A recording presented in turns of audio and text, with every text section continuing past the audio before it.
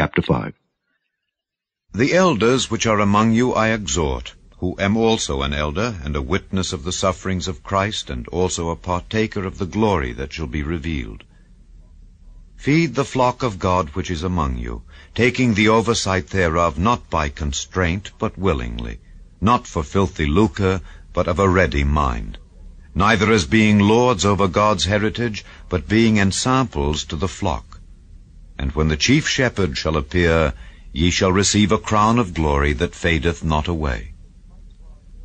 Likewise, ye younger, submit yourselves unto the elder.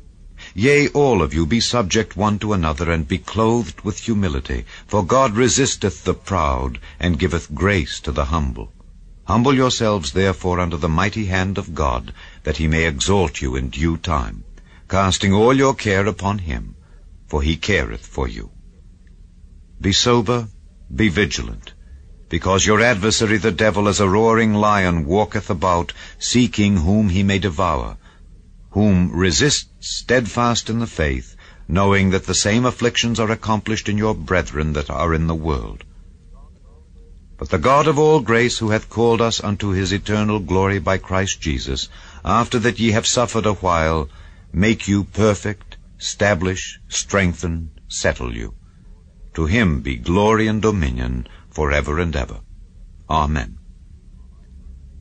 By Silvanus, a faithful brother unto you, as I suppose, I have written briefly, exhorting and testifying that this is the true grace of God wherein ye stand.